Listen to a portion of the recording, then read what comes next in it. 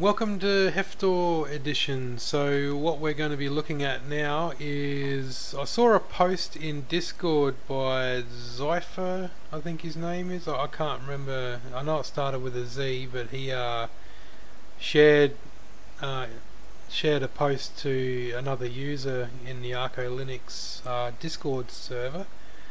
And uh, so I followed the link because I was a bit curious about it myself, and I came across the issues part of it and there's a couple of workarounds to get your system tray back into your polybar when you have rounded corners.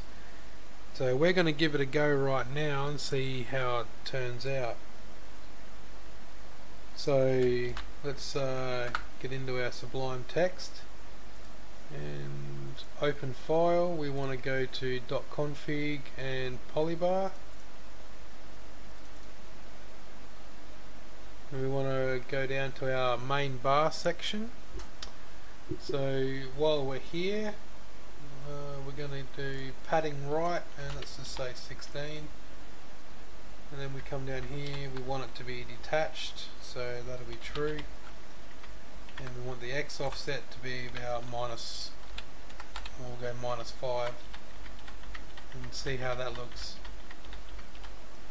Save it and let's have a look Alright, so the icons are up there but they're covering the other part of our polybar. So let's increase this to say 26 and have a look at how that looks.